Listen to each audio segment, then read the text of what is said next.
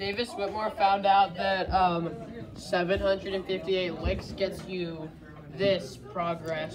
Turn it, give it a 360 turn.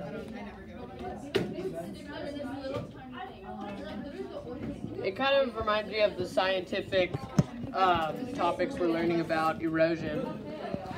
So yeah, there you have it.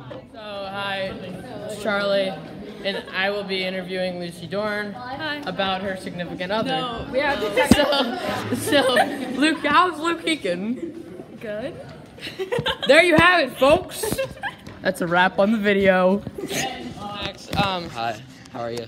I'm doing good. How about you? I was talking to the, your subscribers. Oh, so um, hey, the 13 of you. Um, so, so um, I'm one of them. Max, we are going to be asking him on a scale of one to ten, how bad do I reek? Stink test. Sting test coming in at Ella, wait out here. 7.8. Okay, Ella, how bad do you think I reek? Out of ten. Two. Two out of ten. Thank Ella, you. Ella, be honest. Thank I you. don't smell him. You Smell him. smell- Smell No. Woo.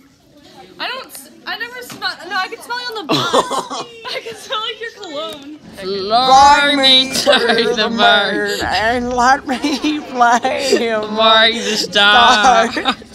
Let me see what spring is like.